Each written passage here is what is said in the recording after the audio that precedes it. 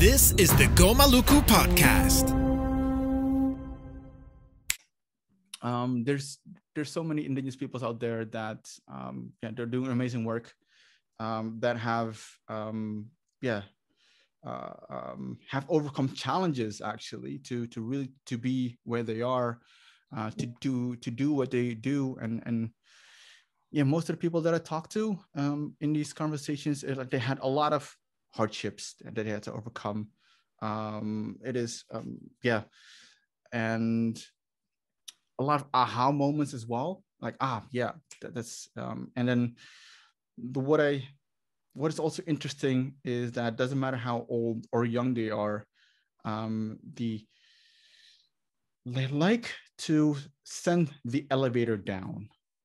Um, as in all right um, there's if there's any ind- indigenous youth or new indigenous peoples representatives out there that want to do something similar or trying to seek inspiration um, this and you want to do i don't know uh, to speak up for you indigenous peoples then this might, might is something that you want to think about.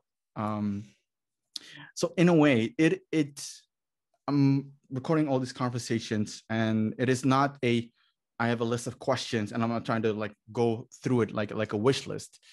Um, it, it it's not like that. It's mo- I find value in in no no so sorry I should, should say differently. There's value in the stories that people share, and the people that are listening or watching, they always find the, these tiny nuggets of information that can be very very helpful, and so when you do all these conversations and then people can pick up. Um, this is from, so I had a journalist from uh, from um, uh, Northern Scandinavia, from the Sami indigenous peoples the other day. Um, yesterday, I had a um, the indigenous rights researcher for um, Amnesty International um, on, on, a podcast as well, and he, he shared, all right, this, this is what this is what Amnesty International is looking to, or like, and this is what their concerns are, and um, the question was also how can Amnesty International better help indigenous peoples? Mm-hmm. So it, it is, oh. um, yeah, it, it is. It is. So I'm doing this podcast mostly out of personal frustration, oh. as, as, in, yeah. as in, as in, as in, um, I want to learn more. More like motivational from the inside. Yes. Um. Yeah. Uh, definitely. And because there's so many in, indigenous peoples out there, and I do not claim to know everyone uh, but I definitely would like to learn about um, yeah the, the, the the plights and the journeys and everything else. And while whilst I am learning, um, I thought why not record it and then others can learn as well. Um, so and I think that's why I um, yeah to um, um, stumbled upon your LinkedIn profile. And like, oh wow, this is um, there's so many inspiring indigenous peoples out there um, that um, yeah, there, there's small circles. There's um, I mainly work in the international indigenous peoples movement, which is um, yeah, yeah, United Nations. And even though there's there's a lot of indigenous peoples in that movement, however, that circle is small. And um, I'd like to expand that circle. I'd like to no sorry I'd like to see that exp- circle being expanded, um, but also uh, like to yeah people to know what's going on, and being familiar with what's going on when it comes to um, indigenous peoples indigenous people's rights, policy level. Um, I think I think there's a lot of ind- indigenous peoples out there that that are when it comes to policy level domestic level regional level or international level is still a great area for them. Um, and through these through conversations like like these just trying to give them a little bit of insight into into yeah not only the uh, the work but also the person um, uh, lucky sherpa to yeah how you, you maneuvered through all this um, in a way you know so that is um i don't know like it, it is a long-winded way of of of of, of sharing like why why why this um why do this podcast that's great. Yeah. That's great.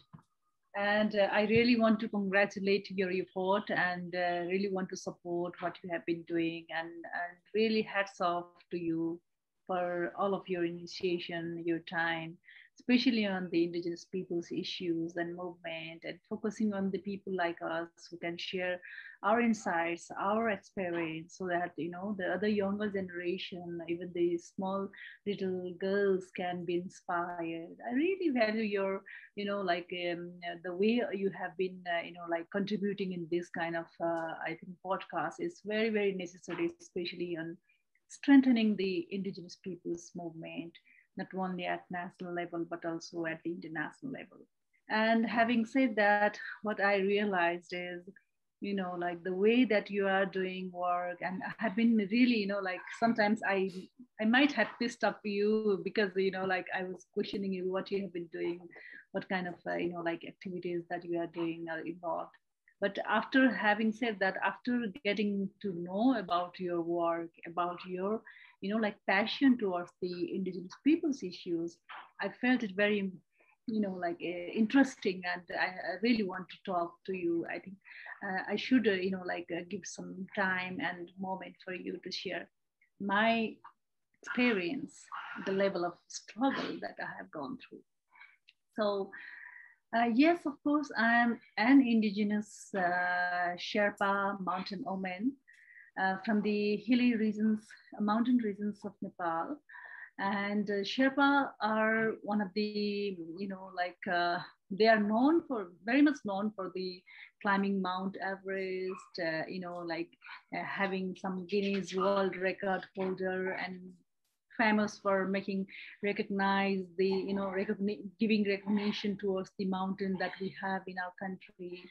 So Sherpa are not known nationally, but they have been also known internationally. So Sherpa has become a kind of international trademark. So I'm proud that I'm Sherpa. And I'm also proud that I'm an indigenous woman from the mountain regions. So I always felt proud to represent my country, not only as a Sherpa, but also as a Nepali. Mm. So uh, having said that, uh, it is of course not a not an easy journey that I have came through because uh, you know like if you if you uh, re- revive you know re- rewind my journey then I was an activist before.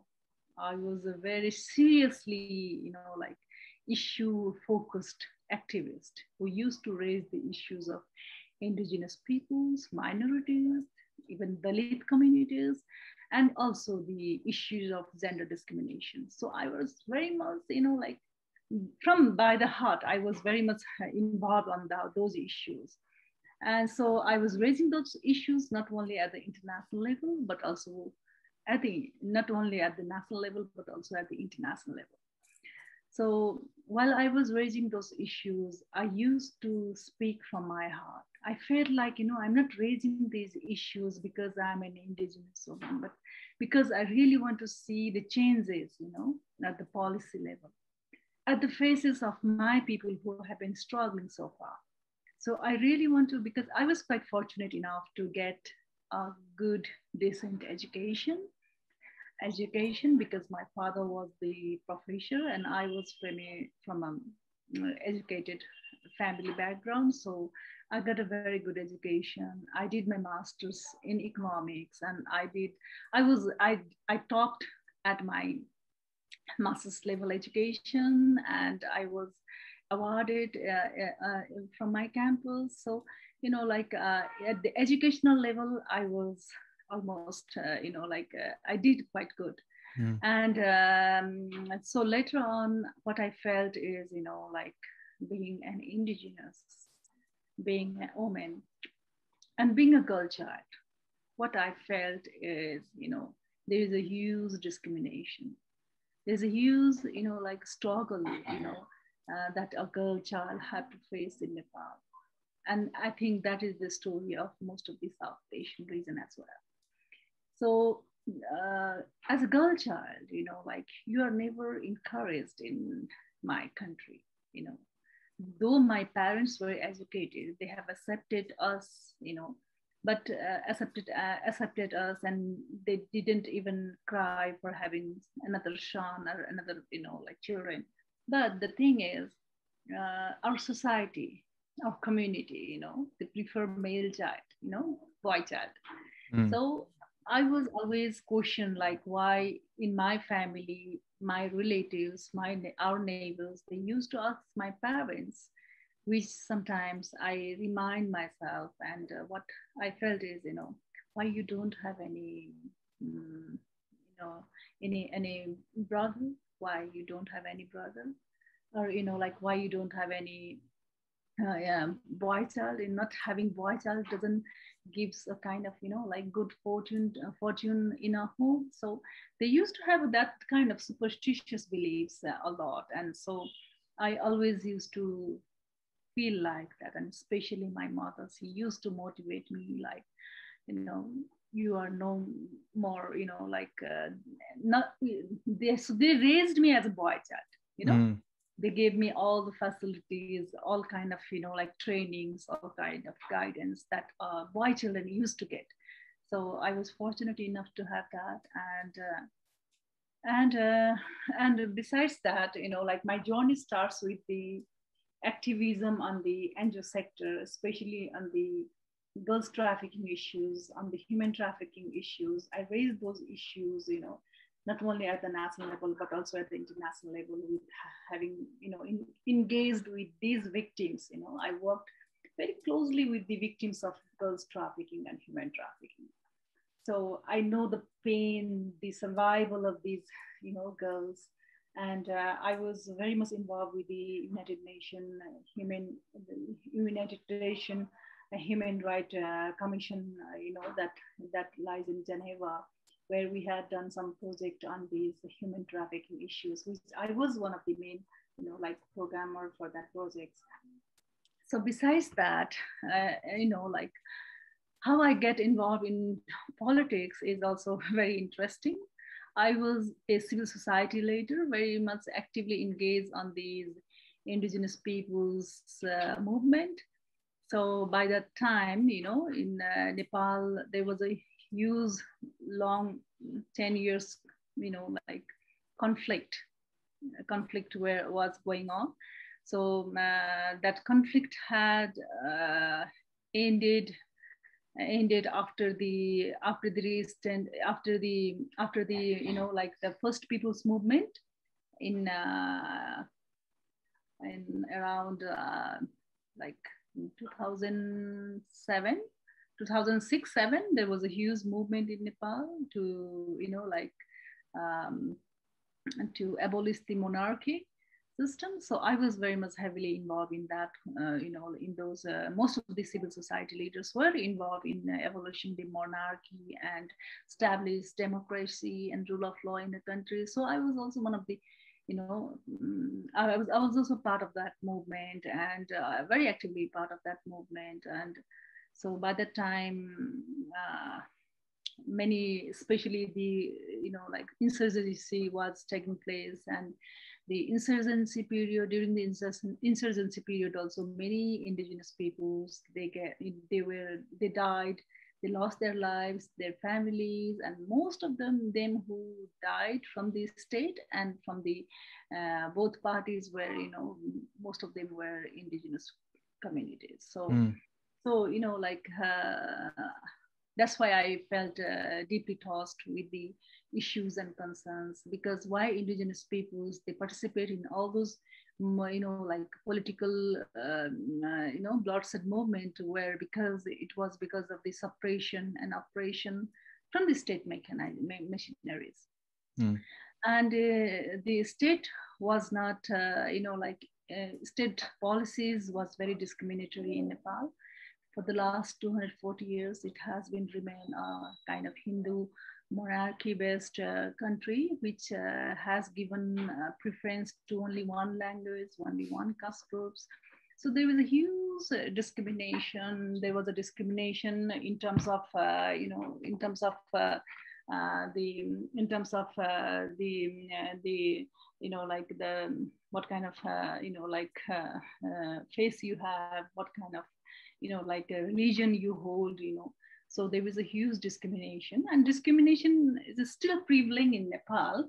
Mm. And um, uh, so uh, you can see, especially even in the administrative section, the discrimination is high.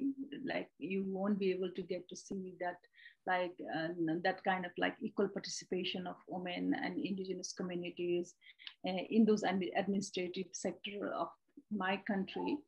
But now the after the first Constituent Assembly, after abolishing the monarchy, there was a first Constituent Assembly and uh, after the um, uh, settlement of the peace process, and there was a kind of agreement that there should be a kind of equal participation of indigenous communities in all the process of government. So, um, you know, and so both uh, the conflict affected parties and the, and the government have uh, had on a kind of, there was a peace piece of accord, you know, piece of accord, which had clearly mentioned the inclusion and participation of the indigenous communities. So the first Constituent Assembly, I was, uh, I was uh, very much, uh, you know, like uh, fortunate to have um, represented one of the party of Nepal. They have taken me as one of the professional list candidates. So uh, you know, like being an indigenous woman, I got elected and I became the member of parliament as well as member of Constituent Assembly uh, in the first Constituent Assembly. So since I was, my background was not a kind of political cadre. My background was more on the indigenous uh, and the like women and human rights activist background. I always used to raise the issues in the parliament, in the Constituent Assembly committees, as an activist, you know, not like as a party member. Mm. So I was not that much encouraged. You know, I always used to get kind of, you know, like humiliating kind of, you know, like uh, behavior from the party members. They always used to have a kind of pressure on me and not to raise any issues of indigenous peoples, not to raise any issues of women. So there was that there wasn't any kind of like enabling environment in the political party. So that was how I joined the party. But at the same time, the way I was raising the issues of all those, uh, you know, like excluded groups, who, which has to be dealt, because I felt that, you know, like while I was uh, actively engaged in the non-political movement, you know, most of the movement that we used to raise doesn't have uh, always we used to you know like raise the movement at the street at the conference at the workshop at the united nation. But there was no any kind of you know like changes that we used to see. But after being part of the political process what i realized is we had had a lots of you know like policy level changes.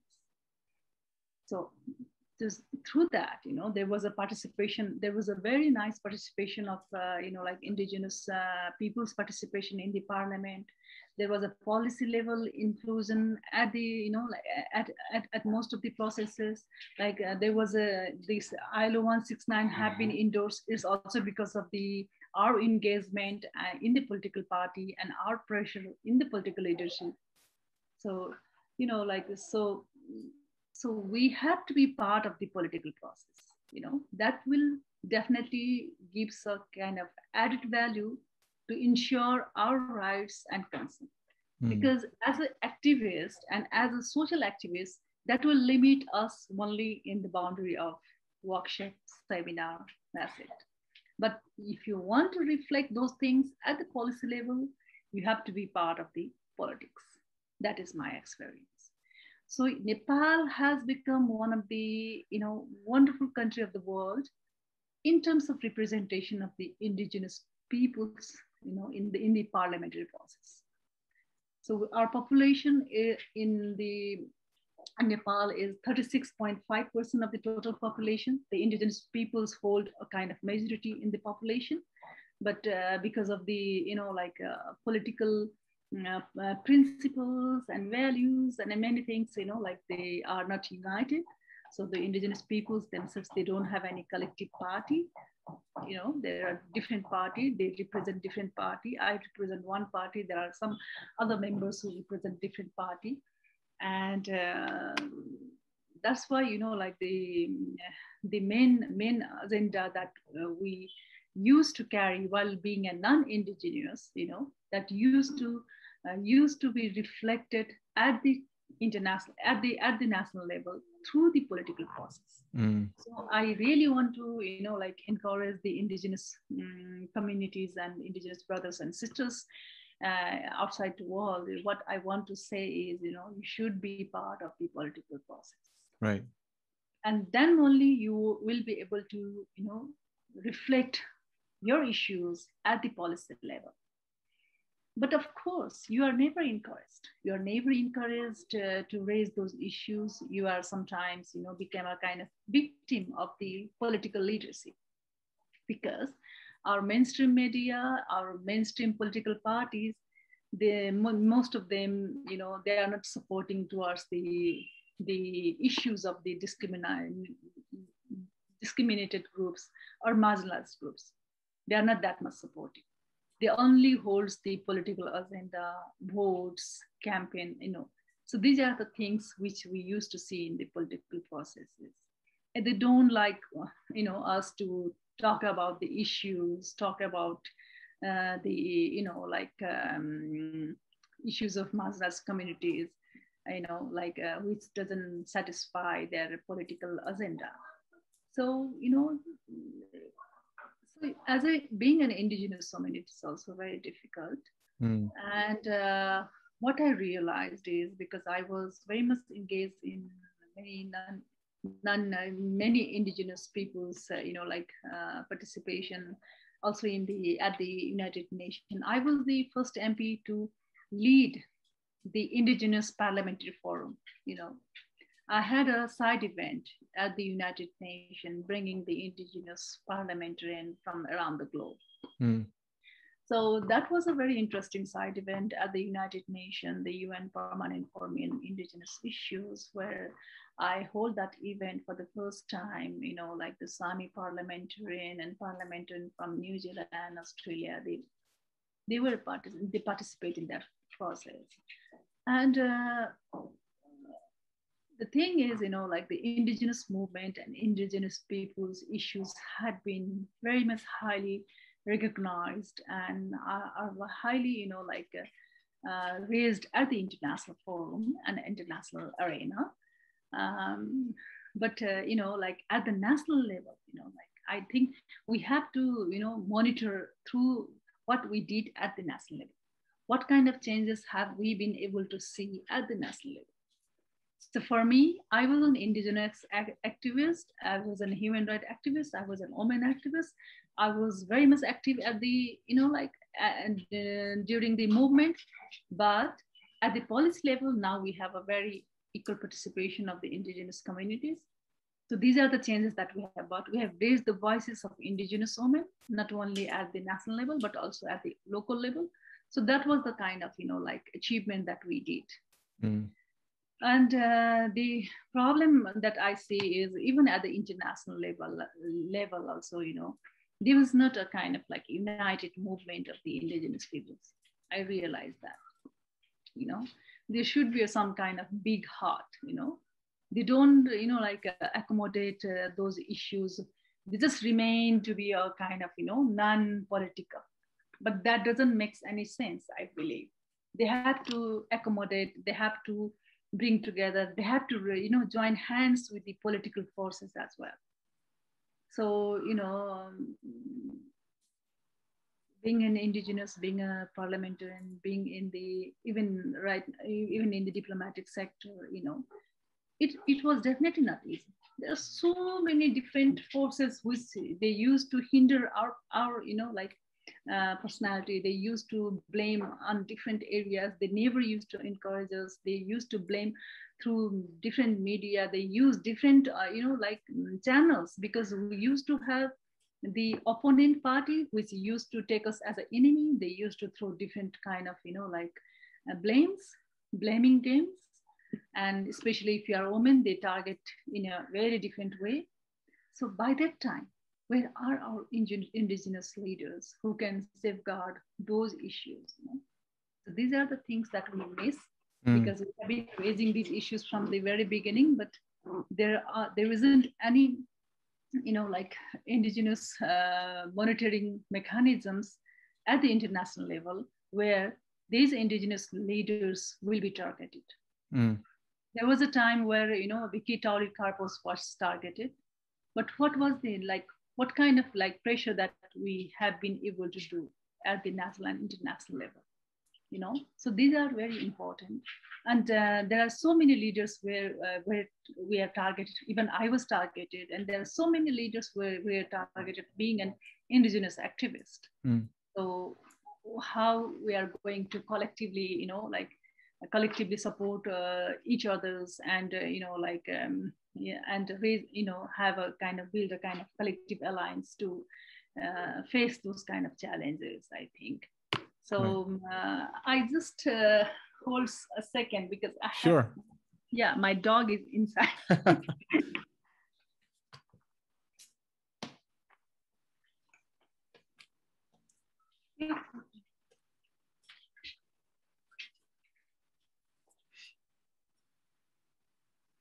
Hmm.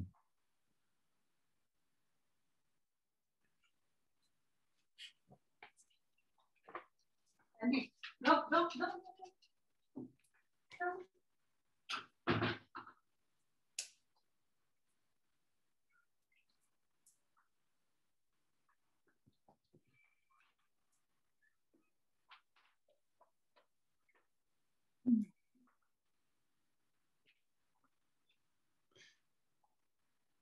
Yeah. What, what kind of dog do you have? I have pug. oh, you have a pug. Oh, nice. I have one small pug and one big um, German Shepherd. Oh, and how old are they? Uh, the pug and the shepherd. Pug is uh, old. She um, came old. She's like you know nine years, mm. nine ten years, and German Shepherd is just six months. Oh, oh, okay.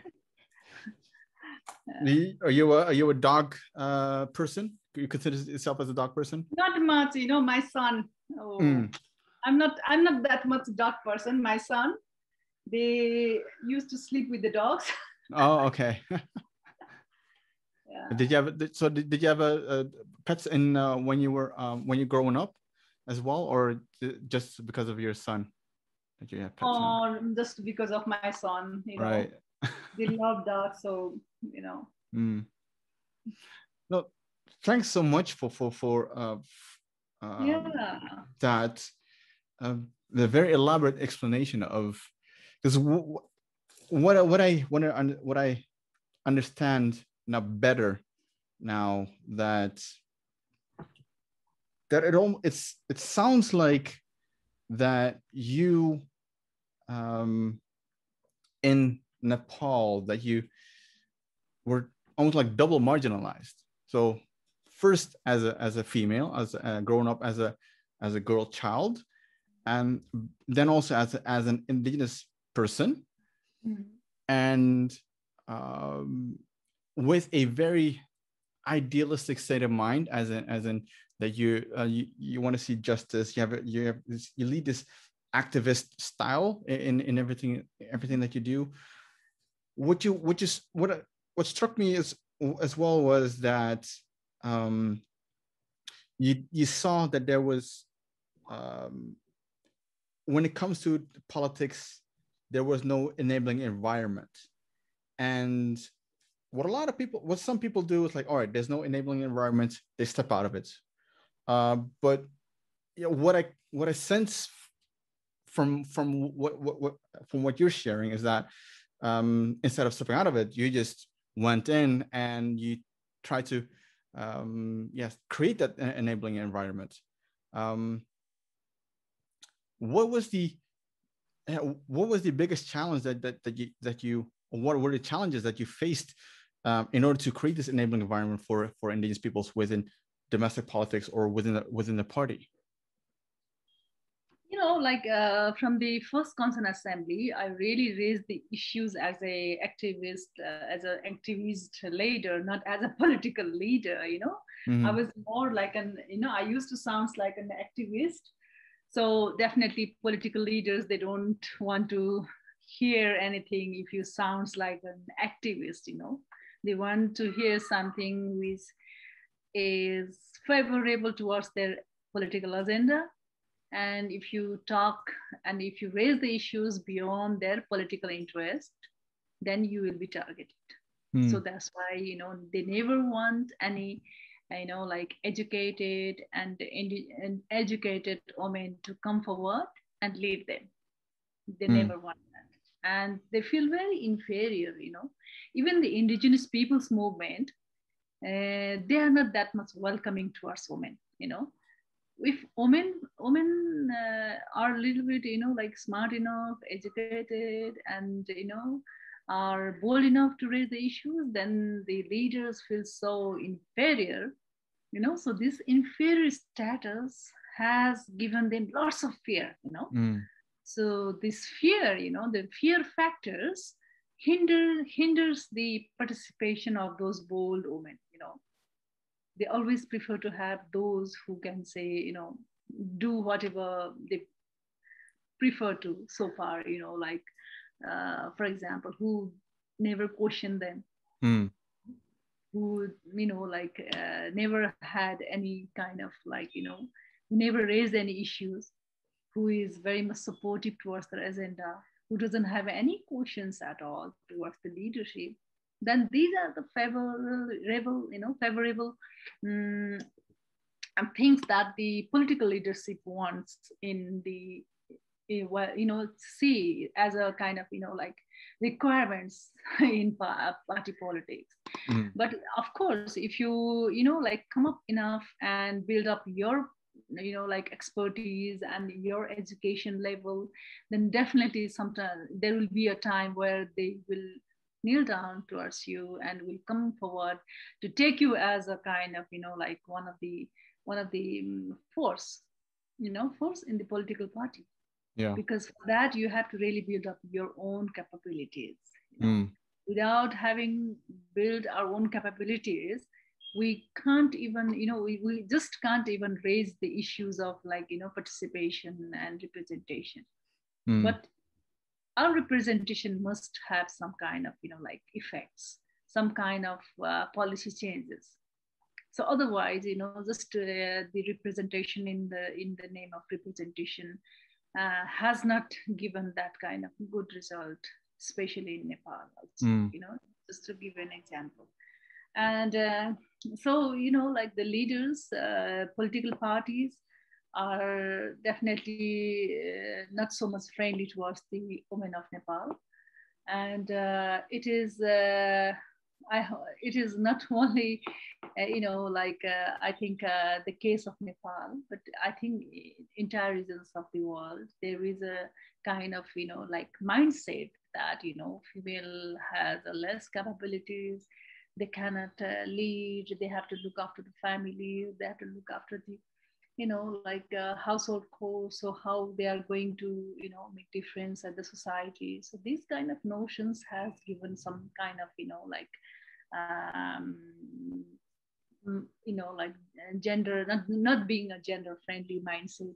Even mm. the women they used to have this kind of mindset. So i'm not, not just taking the you know giving uh, the stress on men but it is um, the mindset of women as well you know they don't take uh, the participation of uh, female participation that much of you know in a in a kind of you know like uh, easy way. They take it very you know like uh, in it, it, they, especially while even in the household you know like uh, your mother your sister-in-law or mother-in-law may not be that much of you know like supportive enough to you know like encourage you to come forward and move ahead mm. so you know like this mindset is everywhere in every household and also in the outside world uh, there is another layers of uh, discrimination where women have to face So there is a multiple layer of discrimination where women have to face and uh, have to, you know, like come forward. Right. So it's not that easy, definitely, to be at this position. And uh, so, you know, like uh, since uh, this COVID pandemic, uh, you know, uh, this had also really had a very bad impact uh, in the entire regions of the world, and especially these days, Nepal and India are at the high, you know, like high COVID pandemic deaths are, you know, like increasing day by day. Mm-hmm.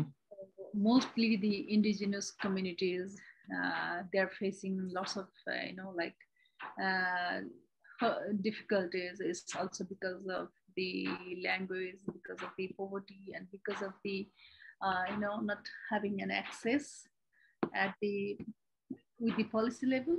Right. So these are some of the major issues that we are having right now. Hmm. This what what we see around the world is that the COVID nineteen pandemic has um, exposed a lot of uh, um, human rights violations and not only ex- exposed it, but also exacerbated um, um, the discrimination, inequality, and, and um, human rights violations that are on, ongoing um, around the world.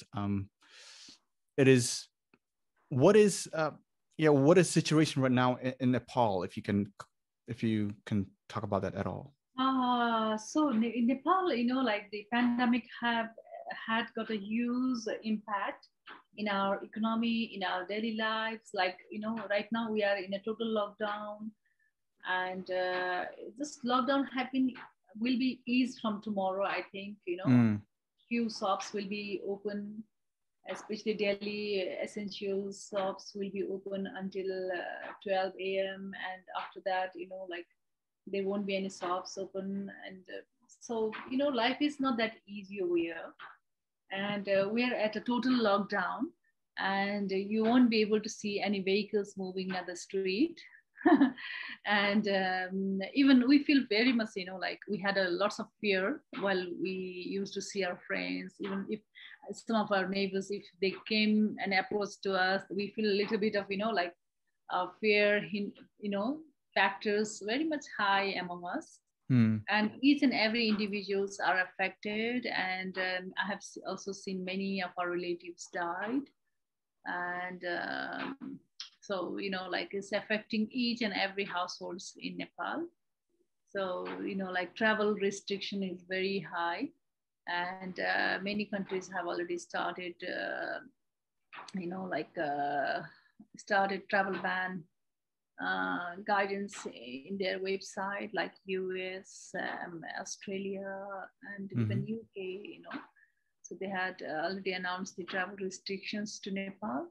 So you know, like we are surviving this kind of situation is also because of the government. You know, the present government is tot- had totally neglected uh, the issues and concerns of the people and they were just focus on how to be at you know how to not to lose the power and mm. how to not to lose the government so they are just focusing on that and and there is no vaccine for the you know vaccine discrimination is very high only the few accessible people are getting the vaccines and rest of the people they have not yet been vaccinated. Mm-hmm.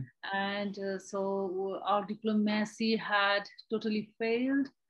And uh, our diplomacy had failed in terms of uh, having vaccine from China, even having vaccine from India. So, you know, like, um, so we are having lots of support from the international arena, but there isn't any kind of vaccine support. Right. Uh, US had recently announced this vaccine support, but that is also not, you know, like um, not um, uh, like that does not accommodate all our populations because mm. they have just uh, given few portion of vaccines to our people. You know, so this is the scenario where you know, like uh, under our uh, present uh, um, government had also, you know, like uh, remain had uh, started, you know, like this COVID pandemic had uh, really, you know, um, got a very positive impact on those, you know, like uh, people who wants to remain in power. Right. You know, they don't follow any constitution, they don't follow any rules and law, you know.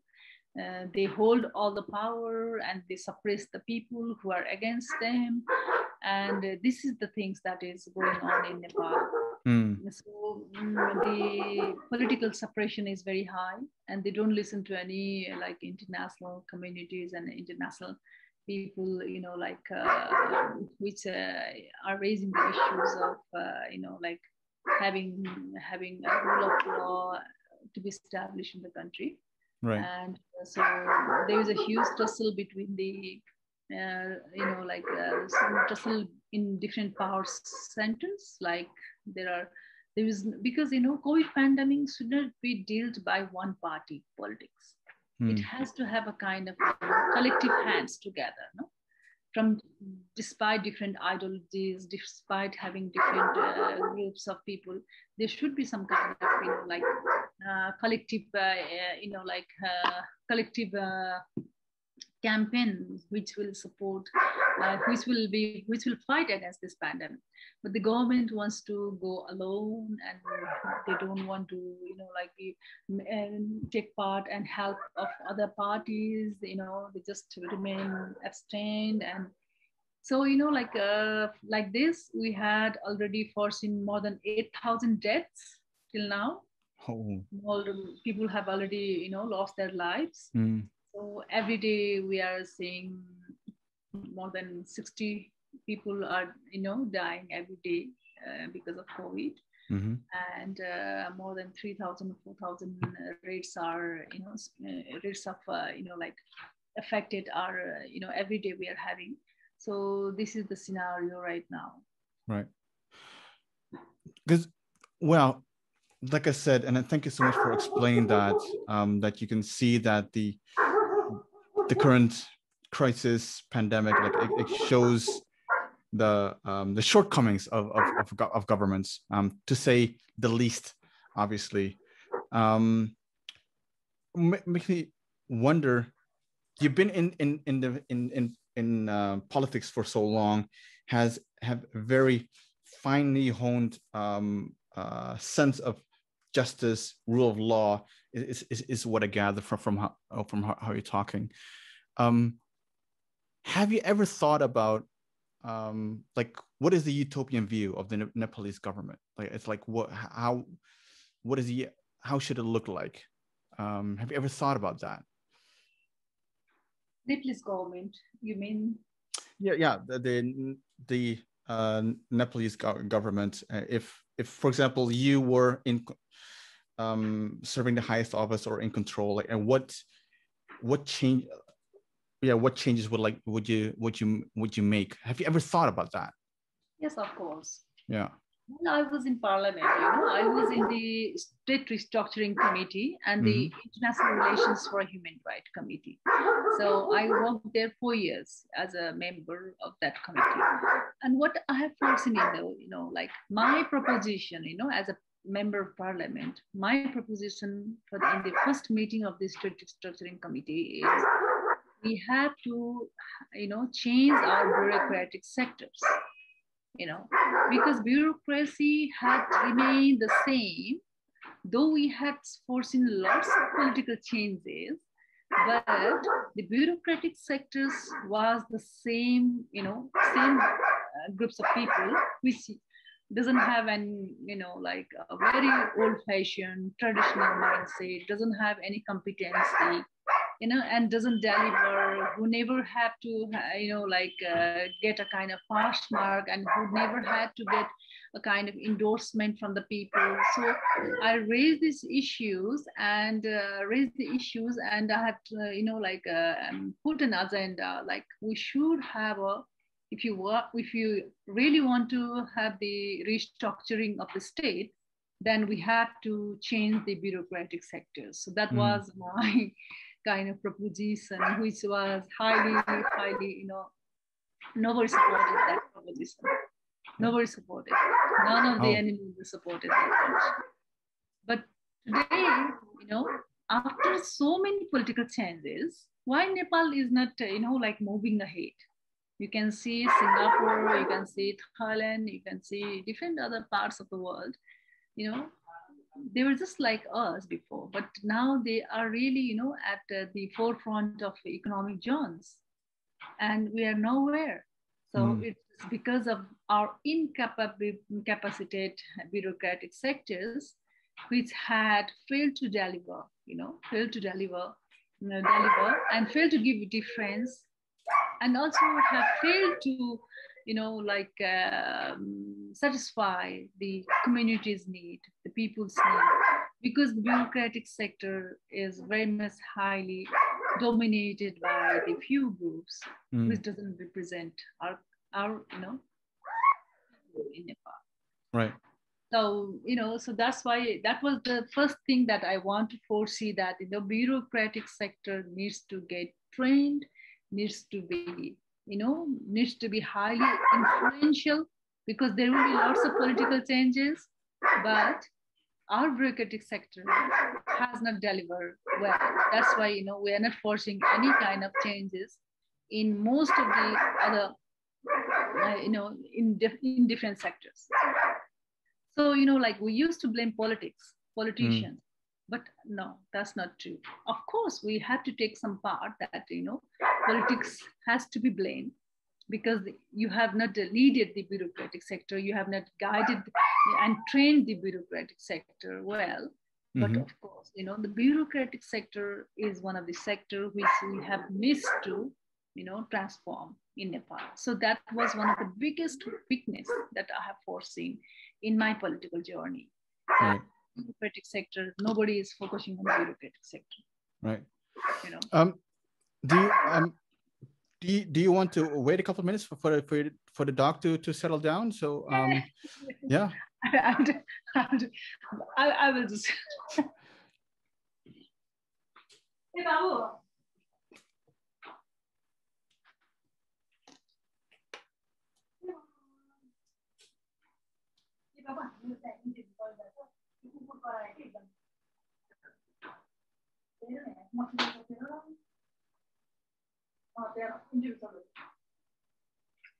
Separation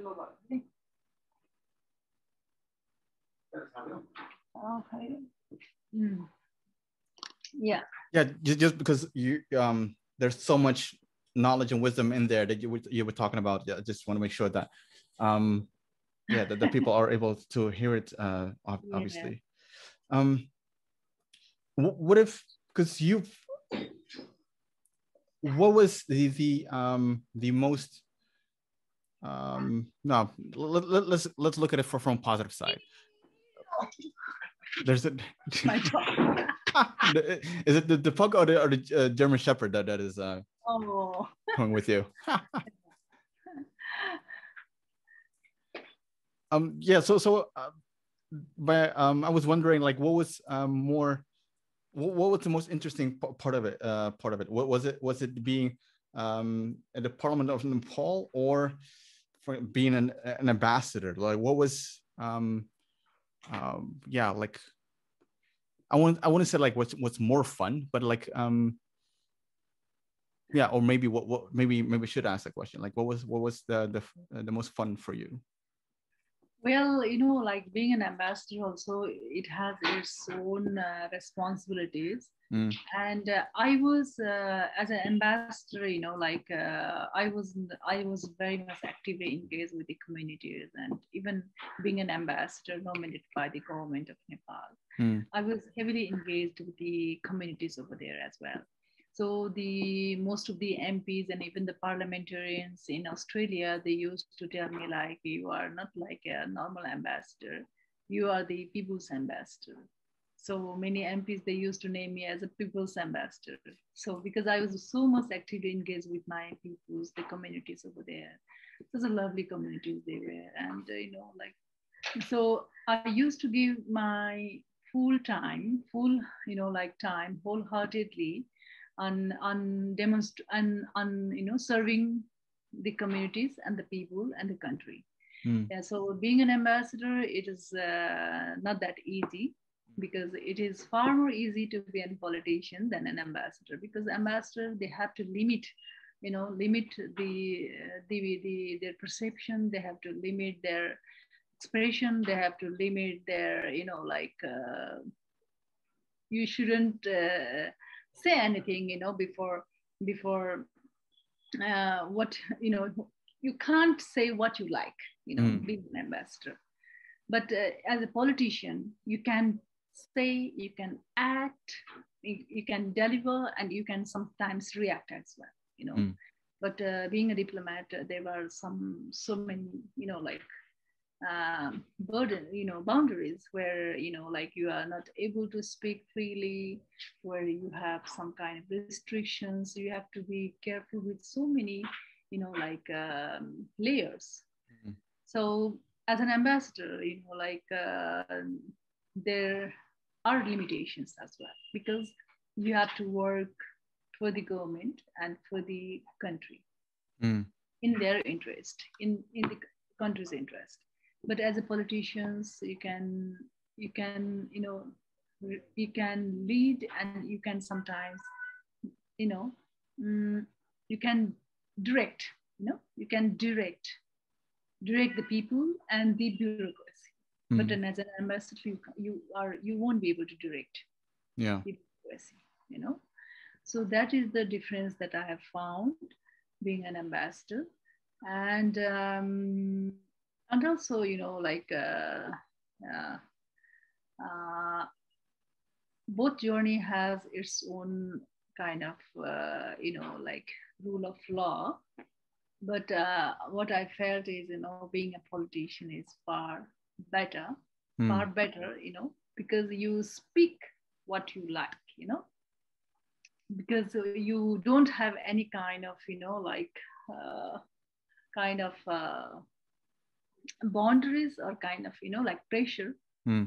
pressure so uh, it's, it's it's it's amazing to remain free you know free speak freely react freely you know like deliver freely so that is uh, you know like the free kind of things is very very not uh, not easy you know like mm. it's, it's very uh, expensive and uh, well you are an ambassador you have to remain strict and you have to you can't speak what you like to speak you can't react and you know these are the things which i really don't like being an ambassador mm. because you have so many limitations and so many boundaries where you won't be able to react but as a politician you can react and you can you can immediately you know like uh, direct the negative uh, reactions and you know the negative actions and even lots of many other things so mm.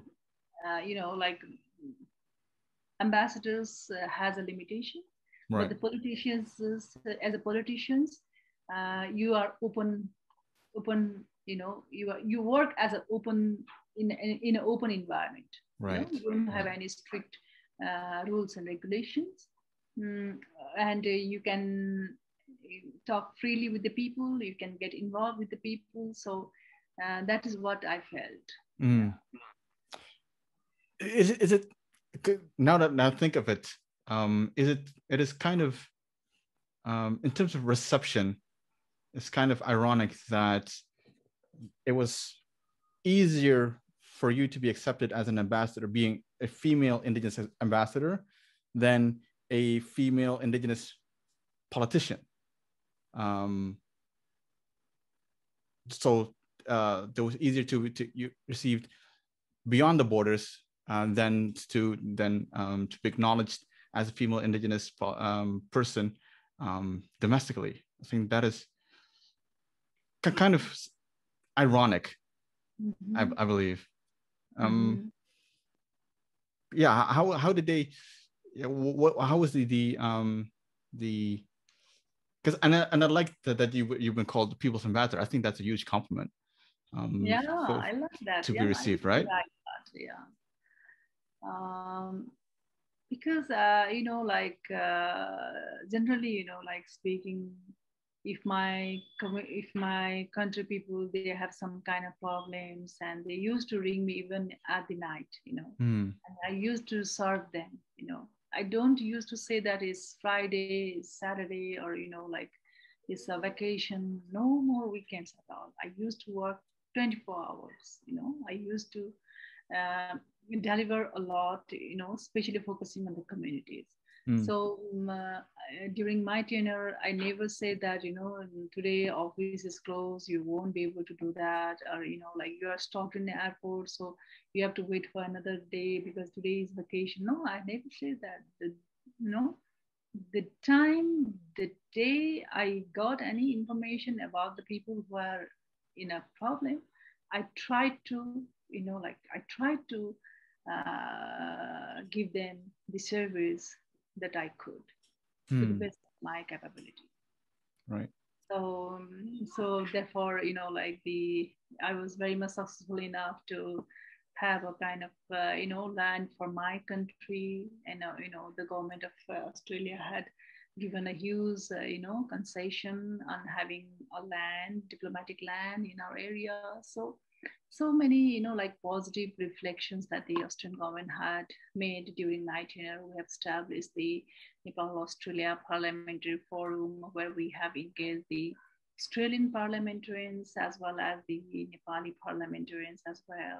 Mm. So, you know, like uh, there was a use, you know, a kind of, you know, like um, two-way relationships among us where, you know, both not only the country-to-country relationship, but I try to build the people to people relationship, you know, between the Australia and Nepal and New Zealand as well. So that was a really interesting and um, interesting experience for me. And um, yes, uh, but uh, still, you know, like uh, I felt like it's far better to be politician than diplomats.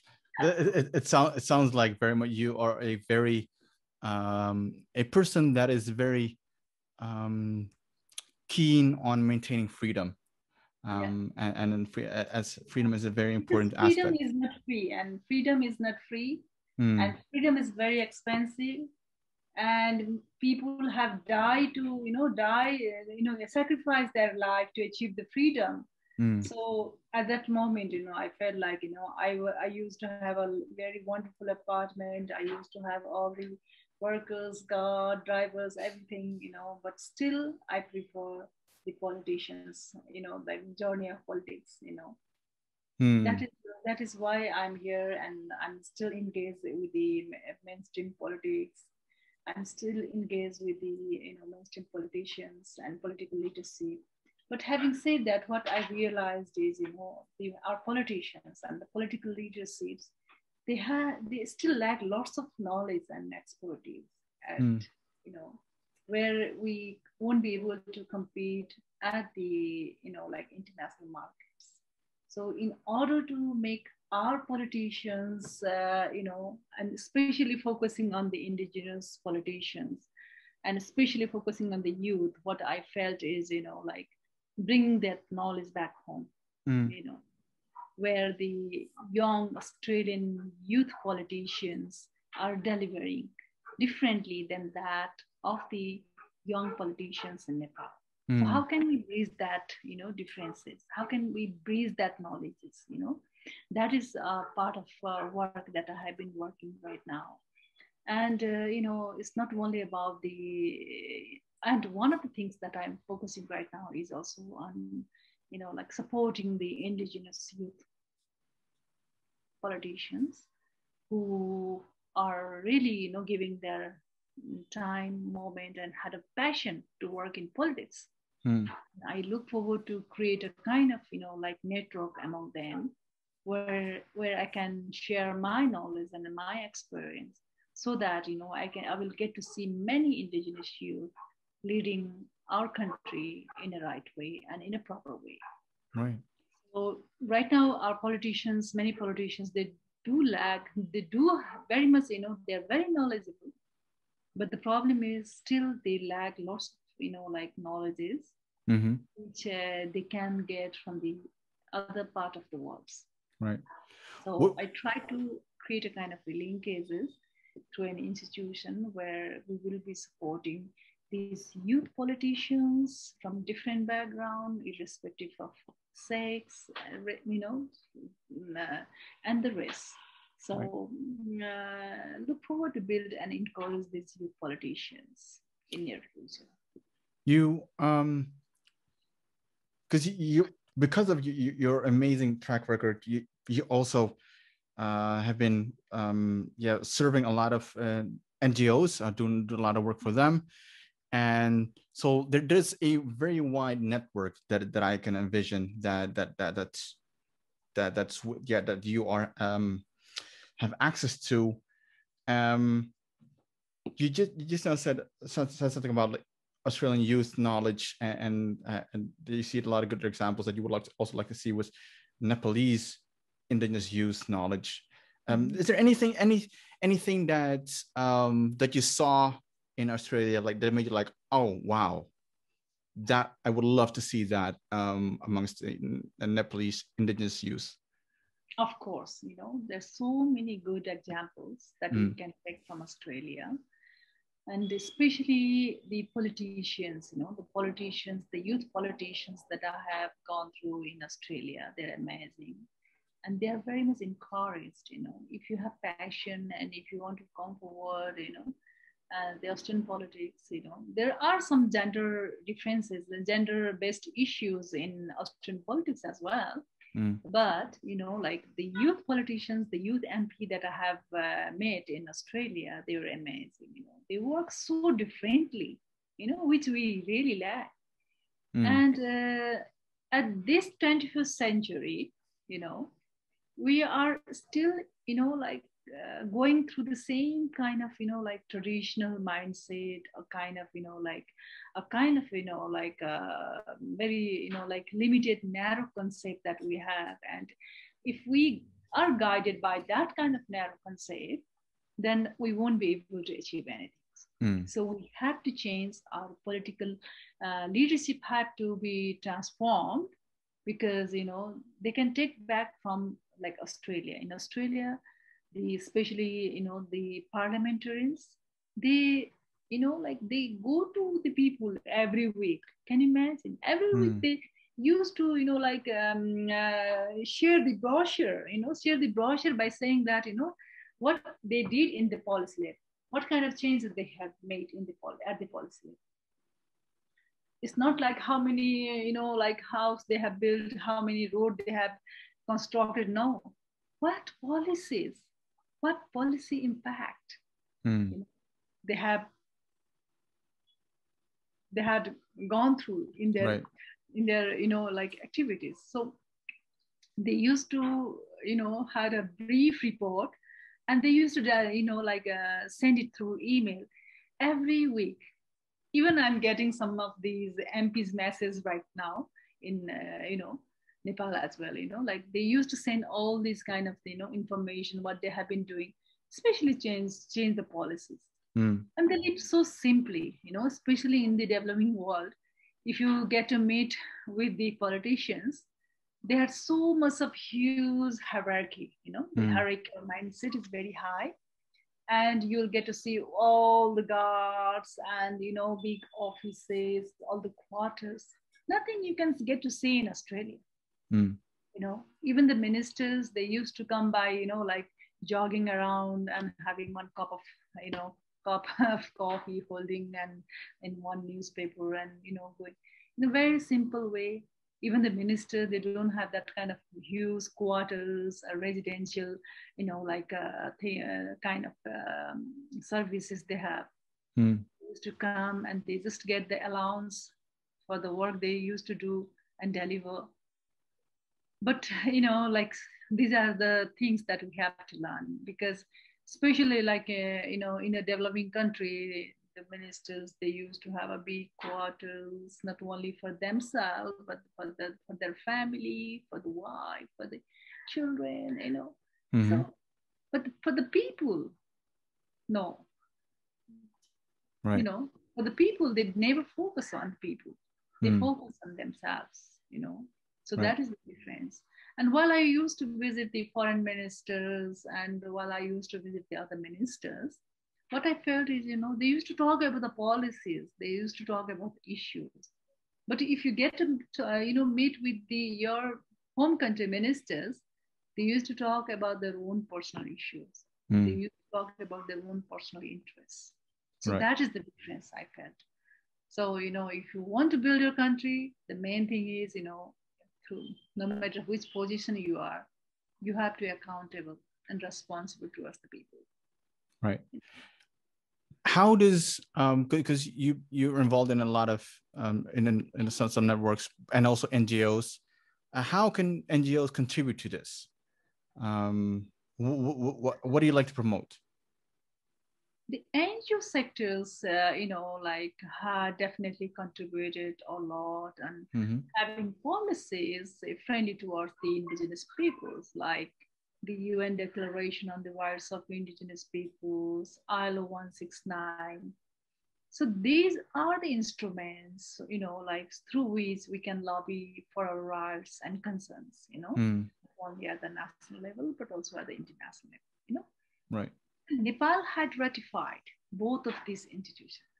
They have endorsed ILO 169 as well as the UN Declaration on the Rights of Indigenous Peoples. So, so how the Nepal had ratified the both institutions, it might be surprised because it's because of the political achievement we had so far. You know, mm. because of the political achievement. Nepal is very good on ratification and endorsement, but very poor at the implementation mm. follow up of those laws and policies that we used to endorse. So that was the case. And uh, at the international arena, I, I think there should be some kind of openness towards those political leaderships who are making difference at the policy level, focusing on the indigenous peoples and other marginalized sections, you know. Mm.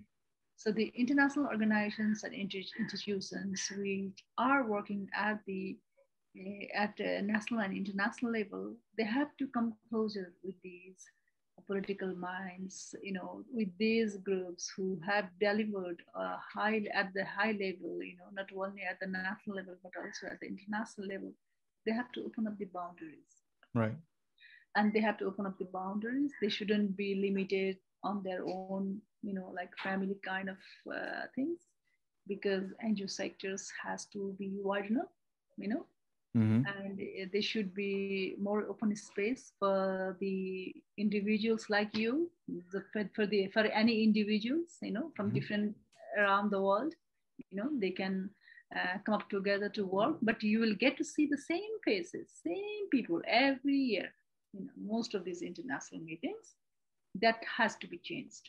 Mm. There should be new voices. There should be new forces coming up every day, every time. You know, there will be more, more, more and more youth get involved. You know, there shouldn't be a kind of syndicate of only one few people, you know, and just few, you know, faces at the international forum and international arena. That should be wide enough.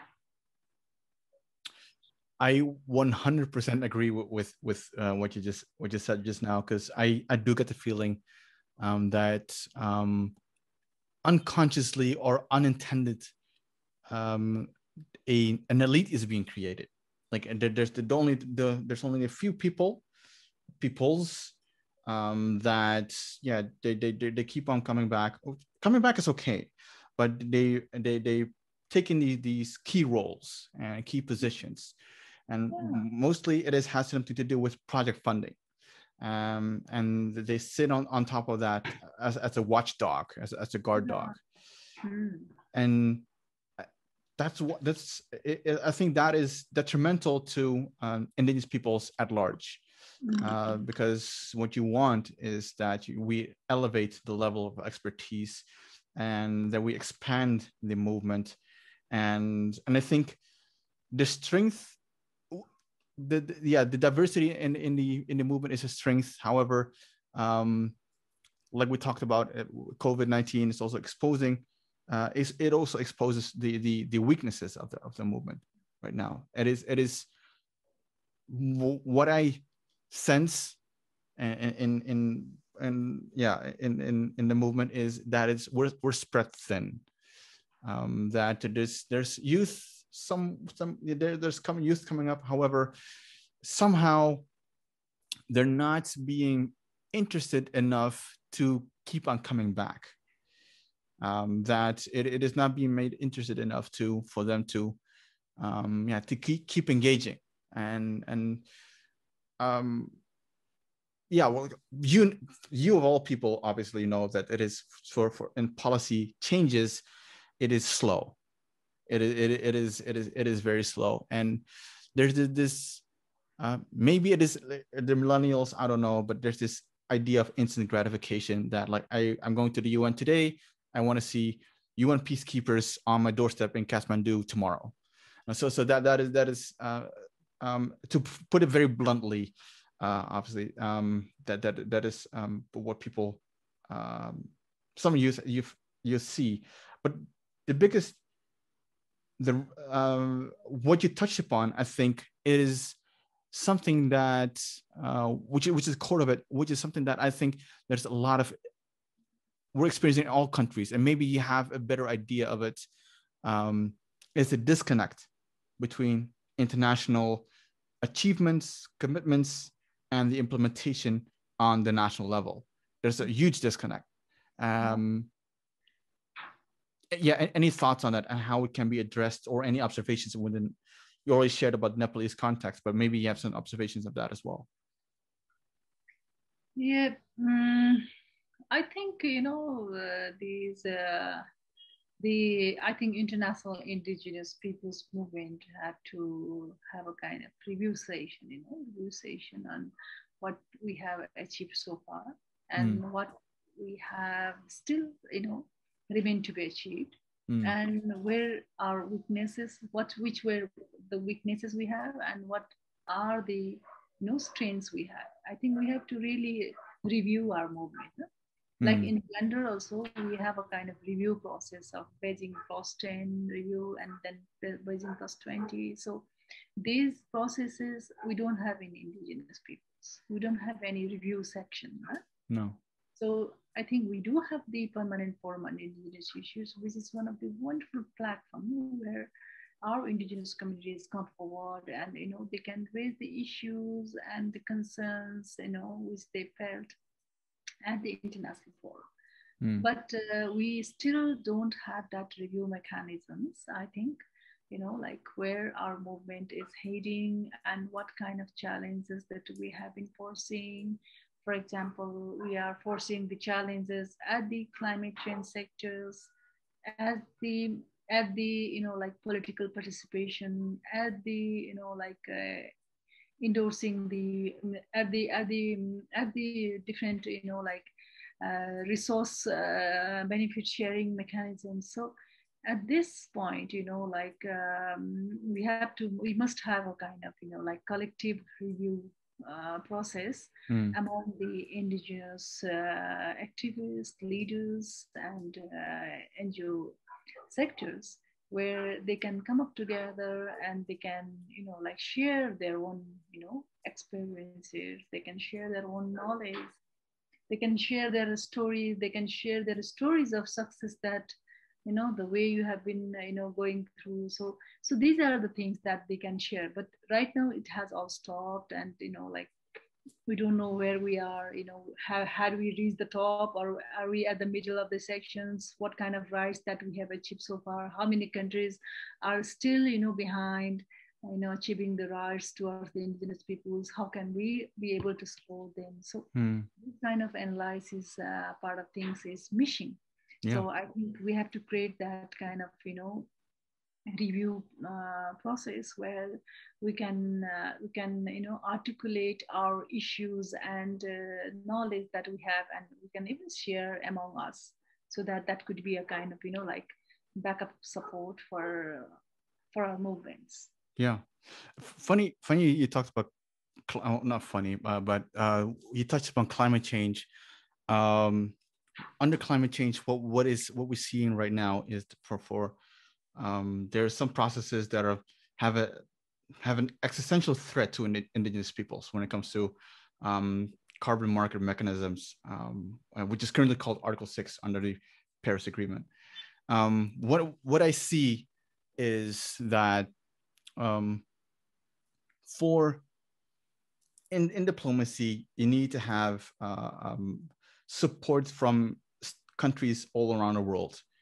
Um, you, you need to be you need to show that the, the co-facilitator or people that are actually negotiating the text need to see that there's support from all countries all around the world. And I think one of the things that we are coming to realize right now is that um, indigenous peoples have only one corner of the world that are um, almost um, unconditionally supporting indigenous people's rights, um, um, uh, which is um, currently hasn't been uh, consistent before, but currently, for example, it is uh, Canada, New Zealand, Australia, um, some of the the, uh, the, Latin American countries. However, and you talked about rule of law. However, to the respect of the, the rights of indigenous peoples and human rights in, in climate change, um, to have that include, included in any policy uh, resolution, um, you do require support from countries in Africa and Asia and, and, and as well. Um, obviously, there, there's some big players uh, in there. However, but you do need to be able to show that there's um, that there's global spread, so to say and what i what i what i see is that that we're still lacking on on that level because uh, you, you, talked about like there's a measurement right? Like how far are we? Um, are we in terms of our plan of action are we in the beginning? Are we, are we in the middle? Are we at the end? What is it? Um, that is that is a question that, that that we definitely need to need to address. And which which I thought, of, which I went, went through my mind um, uh, like the last couple of weeks actually, but also like why are we quote unquote losing? We're continuously losing uh, on big issues, um, or not being able to create traction on big issues like climate change, and if you like down the line, like if you put it like if you, if you add, add and subtract everything on on down the line, I see that that as a movement, we're still not able to create a global spread or global support for unconditional, not unconditional, but like the classic supporters of indigenous peoples um, within within Asia or within Africa, which which is which are very important groups uh, under, climate change. There, there's the the least developed countries. There's the G77 plus China, and these. So you you need to have yeah, uh, some presence in, in, in, these groups, particularly from the uh, from the from the what is called the global south. Um, yeah, just just a reflection. Obviously, you don't have to comment on it if you, if you don't want to, but it is something that I uh, want you. We we talked about it, and you made a very good point. The review process, the being very, being able to measure where we are, uh, where we're going, and how much support we have. I think that is still um, it has the way that we have been able to man to move forward today until today has worked. Um, but you do see as the world becomes more complex and is more intertwined that measurability of progress is now also uh, is becoming a factor, um, being able to to, to, to measure it. Um, yeah, I don't know. It's just just a reflection. Um, that's true. Yeah. In climate change, you know, like uh, there is a kind of, you know, like we are raising the issues uh, at the country level, at the regional level, but we are not, you know, like collectively, we still, you know, we still have to work a lot. And, uh, you know, like, uh, while, you know, there are many countries where, you know, the indigenous peoples are at the you know, forefront and they're one of the most affected by the climate change. And their issues have not still been supported by the other regions of the world. So there should be some kind of linkages and there should be some kind of, uh, you know, like processes to, yes, there are few, uh, you know, like um, indigenous organizations which are raising these issues mm-hmm. at the national level as well as the international level uh, but still, you know, they have to involved and they have to the, the sharing of the information are still very much minimum. And uh, I think now the CBD, you know, especially convention on biological diversity, and the um, I think there is a different uh, special, uh, you know, like uh, subjects on the UN Permanent Forum on Indigenous Issues as well. So these are the in these areas you can you know you can raise the issues where you know many indigenous peoples they're getting part of these processes. Mm-hmm. And uh, even in Ayushan also there are some section on indigenous and local communities, uh, which uh, through which also you know like uh, we can raise our concerns and um, come up collectively. So I think um, you can uh, go through those uh, areas where you know there were some international uh, networks that has already been formed i think. And uh, where you can uh, you know uh, you know ask for the information and you know ask for the documents that you can i think they can um, forward you those information so far. Yeah.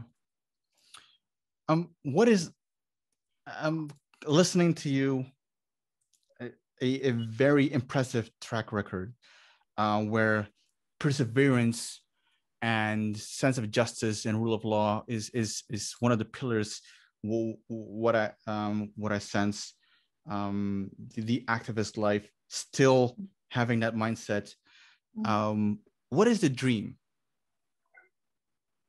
what what what is it that you'd like to see um, maybe at the end of, end of the road or like what is it that, that you'd like to it can be for indigenous peoples, Nepal itself.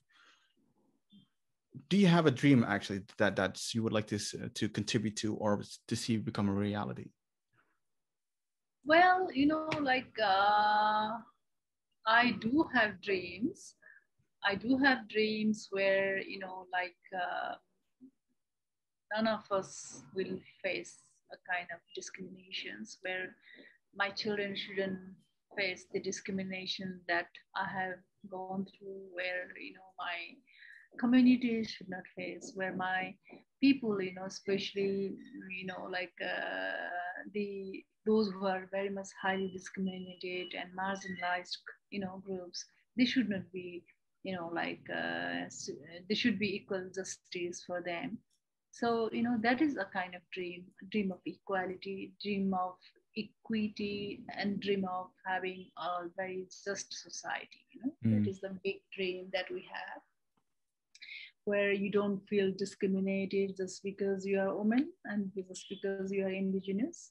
Where you know you feel you sh- you just feel like you are the first citizen of the country. Where you know you shouldn't be portrayed as because of your you know like um, uh, caste and groups because of your groups and because of the, um, the way that you do the you know the, the there shouldn't be any kind of discriminatory you know like um, um, um discriminatory you know like um, uh, portrays this is like you know right now you know the asian hate things.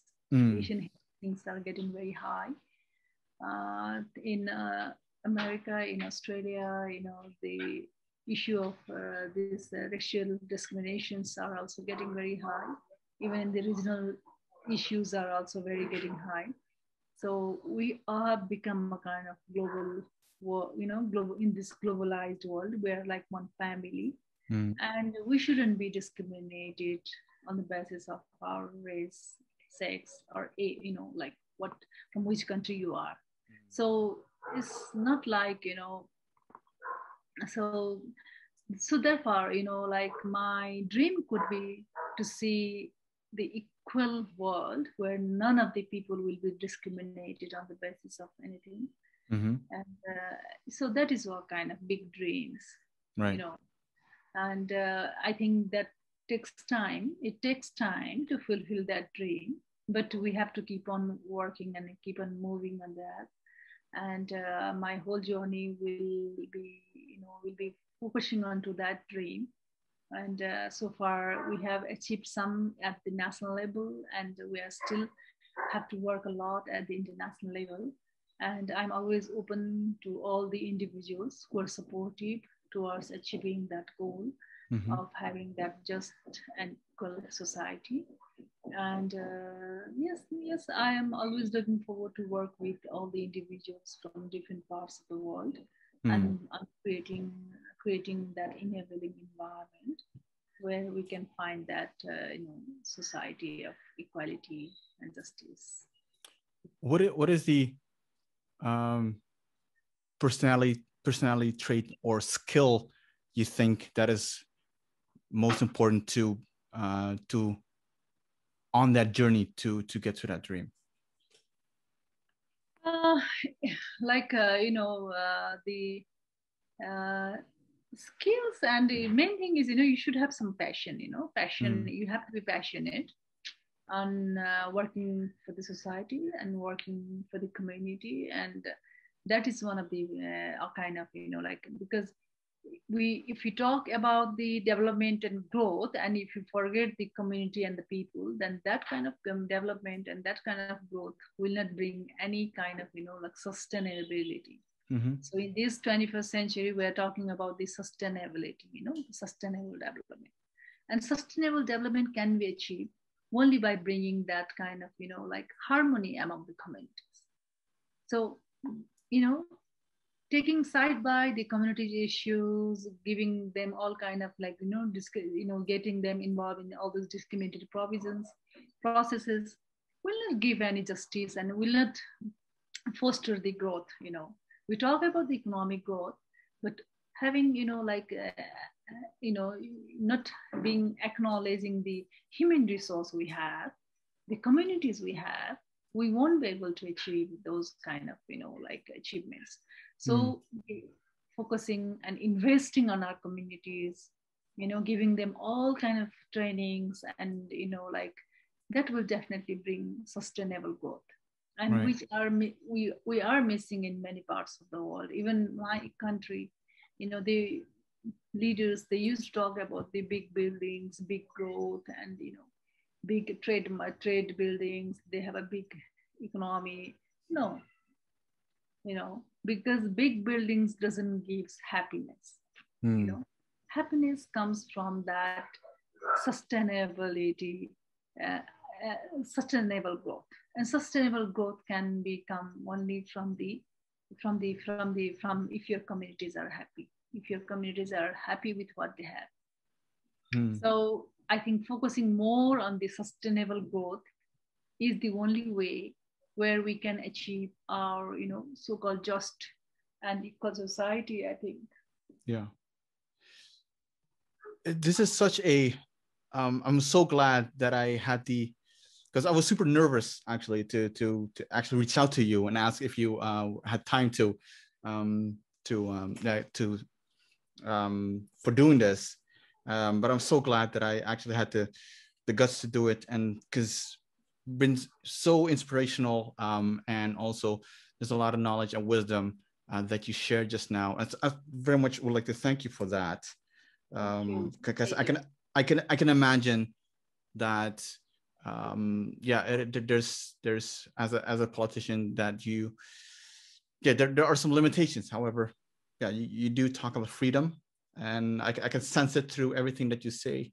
Um, that, that, that, there's a fine um, sense of of of of of yeah, well articulated sense, sophisticated sense of, of freedom um, uh, that you have. Conversation that we had. You know, I'm I'm definitely in the process of writing a book, and uh, you know, but if we if I you know like uh, come up with all the facts now my mm. political process journey will be stopped over here. Sure, sure, yeah. So you you're so, still you're still in politics. You're still um. Yes, yes, okay, yeah. So that is yeah. So, yeah. So you know, like uh, I really don't want to you know like uh, because in a book in your biography you know you have to you know write the facts and figures and you have to you know like sometimes even you know like uh, uh, you know portray the names of those individuals who has given you the hard times and the bad sure. memories bad times everything you mm-hmm. have to go through the book so uh, if you do that then you know the political it's politically you know that will definitely had a kind of you know like impact on me but for the you know like for the uh, for the upcoming generation that could also be a kind of you know like knowledge to articulate and uh, you know like get aware of like you know what kind of political journey that an indigenous woman in nepal had to face. Right yeah. And what kind of you know like challenges they have to face not only at uh, the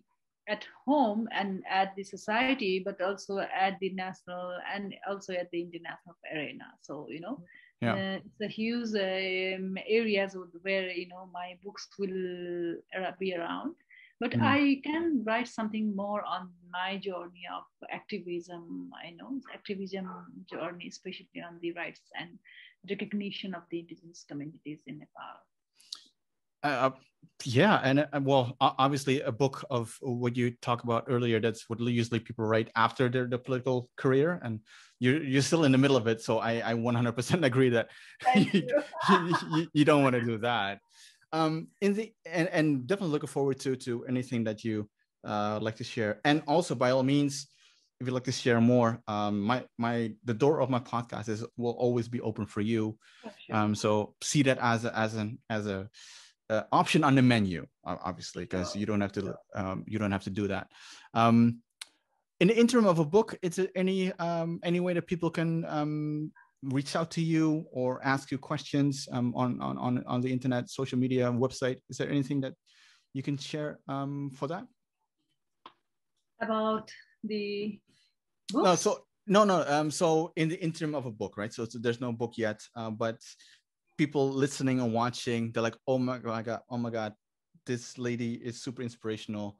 Um, let, let, me at least be friends with her on, on, on some platform, okay. uh, or let me ask her a question. Is there I'm any? Open, you know, I'm open to any questions, and I'm open to any kind of uh, information that uh, my, you know, like the many friends from international arena or at the national arena, if they have any questions, they they are always free to write me they can you know free to uh, inform me or they can send any messages if they like you know uh, there is no any kind of restrictions on that. Yes.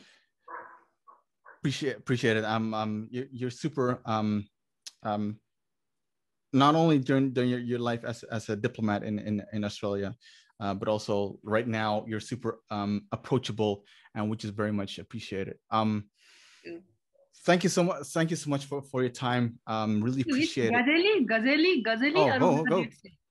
Yeah. Huh? Ghazali. Yeah. Ghazali. Yeah. Ghazali. Thank you, Ghazali. And uh, it's really pleasure talking to you. You know, like uh, I just feel like you know I'm talking to my brother and sharing all the experiences, and you know, and uh, you have been doing a wonderful work. And this will be, gives you a kind of insight on you know like talking with different individuals and different personalities and uh, you know like raising the concerns of indigenous peoples. I think that is one of the most important tasks that you have been doing. I really want to thank you and i really want to be in touch also.